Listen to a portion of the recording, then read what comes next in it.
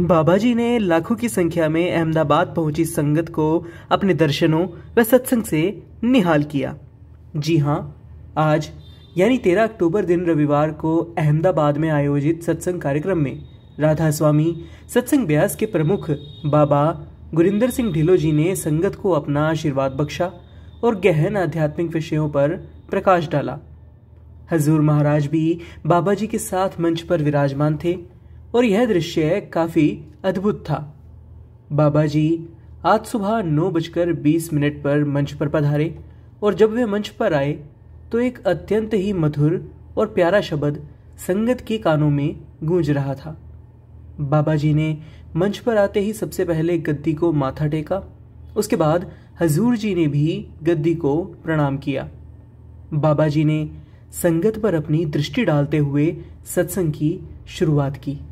आज उन्होंने लगभग एक घंटा दस मिनट तक सत्संग फरमाया, जिसमें उन्होंने सरल और सहज भाषा में गहरे आध्यात्मिक ज्ञान को समझाया। उन्होंने जिस सरलता और खुले दिल से विषयों को साझा किया, वह संगत के दिलों को छू गया। बाबा जी ने हजूर स्वामी जी महाराज के शब्द, जग में घोर अंधेरा भारी, तन में तम का भंडारा, की तर्ज पर आज का सत्संग फरमाया। और यह बताया कि यह एक चेतावनी शब्द है। यह शब्द हमें जीवन की वास्तविकता और अज्ञानता से बाहर निकलने का मार्ग दिखाता है। बाबा जी ने समझाया कि माया और मन की ताकतें हमें हमारे असली स्वरूप से दूर कर देती हैं। उन्होंने उदाहरण देते हुए कहा कि हम बाहर के प्रकाश के होते हुए भी कई बार ठोकर खा बैठते हैं। इसका कारण यह है कि हमारा मन माया के पर्दे में फंसा हुआ है और हमें इस अंधेरे से बाहर निकलने के लिए गुरु के मार्गदर्शन की आवश्यकता होती है। उन्होंने इस बात को और स्पष्ट करते हुए कहा कि आत्मा और परमात्मा दोनों हमारे अंदर ही हैं, फिर भी हम उनसे दूर क्यों हैं? इसका कारण है मन के ऊपर पड़ा हुआ पर्दा, जिसे हम गुरु की कृपा से हटा सकते हैं। बाबा जी ने सेवा के महत्व पर भी विस्तृत चर्चा की। उन्होंने कहा कि सच्ची सेवा वह है जो हमारे मन को झुकाती है और जब मन झुकता है, तभी आत्मा की शुद्धि होती है। बाहरी सेवा को उन्होंने केवल एक साधन बताया, जिसके द्वारा हमारा मन विनम्र और समर्पित बनता है। उन्होंने स्पष्ट किया कि सेवा का सच्चा अर्थ मालिक की सेवा करना है, और यह सेवा तब तक सच्ची नहीं हो सकती जब तक हम इसे पूरी निष्ठा और समर्पण से ना करें। बाबा जी ने यह भी फरमाया कि बाहर की सेवा हमें शुरुआत में विनम्रता सिखाने के लिए होती है, लेकिन असली सेवा भजन बंदगी में है, नाम की कमाई में है। उन्होंने यह भी समझाया कि मनुष्य को सेवा का प्रतीक बनाना, बिल्ला लगाना, सिर्फ़ बाहरी दिखावा नहीं होना चाहिए। सच्ची सेवा तब होती है जब मन पूरी तरह से समर्पित होता है। बाबा जी ने सत्संग के महत्व पर बल देते हुए कहा कि सत्संग वह जगह है जहाँ सिर्फ़ एक परमात्मा की चर्चा होती है। यहाँ किसी प्रकार की निंदा, चुगली या अनावश्यक चर्चा की कोई जगह नहीं होती। उन्होंने कहा कि सत्संग एक ऐसा स्थान है जहाँ मनुष्य आत्मज्ञान प्राप्त करता है। और अपने जीवन का सही मार्ग ढूंढता है। दर्शन के विषय में बाबा जी ने कहा कि सच्चे दर्शन वही हैं जो अंदर से होते हैं। बाहरी दर्शन केवल प्रतीकात्मक होते हैं, जबकि सच्ची अनुभूति तब होती है जब मन पूरी तरह से एकाग्रित होता है। उन्होंने उदाहरण देकर कहा कि जब एक बच्चा टीवी देख रहा होता है तो वह इस कदर मग्न हो जाता है कि आसपास की आवाज़ें उसे सुनाई ही नहीं देती। उसी प्रकार, जब हम अपने अंदर झाँक कर परमात्मा के सच्चे दर्शन कर लेंगे तो हमारा मन भी एकाग्र हो जाएगा और कोई भी बाहरी चीज़ हमें विचलित नहीं कर पाएगी।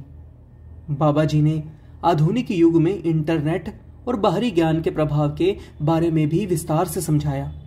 उन्होंने कहा कि आज के समय में एक बटन दबाते ही हमें हर प्रकार का ज्ञान प्राप्त हो जाता है, परंतु यह बाहरी ज्ञान हमें सिर्फ़ और सिर्फ़ भ्रमित करता है। सच्चा ज्ञान वह है जो हमें आत्मा की सच्चाई से मिलाता है और अंदर के मंडलों में ले जाता है। बाबा जी ने यह भी कहा कि असली गुरु वह होता है जो हमें अज्ञानता के अंधकार से ज्ञान के प्रकाश की ओर ले जाए। उन्होंने स्पष्ट किया कि बिना आत्मज्ञान के बाहरी ज्ञान केवल भ्रम और उलझन पैदा करता है। असली ज्ञान वह है जो हमें हमारे भीतर की सच्चाई से जोड़ता है और यही हमें असली शांति और मुक्ति की ओर ले जाता है। बाबा जी ने गुरु की भूमिका पर भी गहराई से बात की। उन्होंने कहा कि गुरु वह है जो अंधकार से प्रकाश की ओर ले जाता है। गुरु हमारी आत्मा की सच्चाई का एहसास कराते हैं और हमें असली स्वरूप से मिलवाते हैं। बाबा जी ने स्पष्ट किया कि सच्ची सीख शरीर से नहीं, बल्कि आत्मिक स्तर पर होती है। उन्होंने यह भी बताया कि मनुष्य को इस मार्ग पर चलने के लिए गुरु का मार्गदर्शन होना अति आवश्यक है।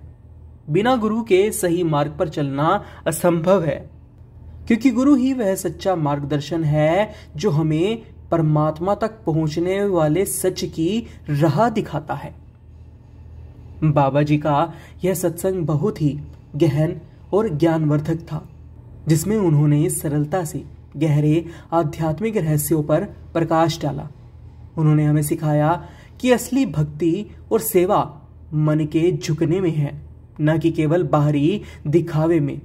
ऐसा नहीं होना चाहिए कि हमने एक बिल्ला पहन लिया और जी बन गए हम सेवादार।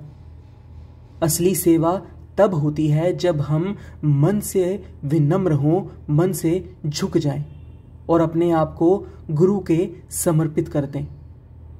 उन्होंने सच्चे सत्संग और दर्शनों का महत्व बताया और समझाया कि सच्चा ज्ञान वही है जो आत्मा की सच्चाई से, सत्यता से जोड़ता है, जो हमें हमारी आत्मा के असल स्वरूप से परिचय करवाता है।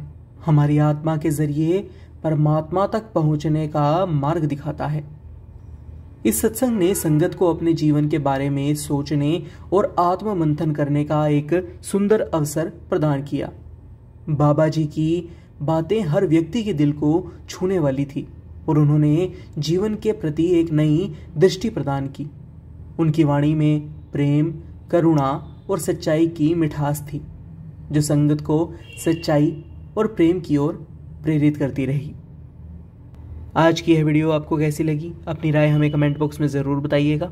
फ़िलहाल के लिए बस इतना ही। एक बार फिर से लौटेंगे एक नई अपडेट के साथ। तब तक के लिए राधा स्वामी जी।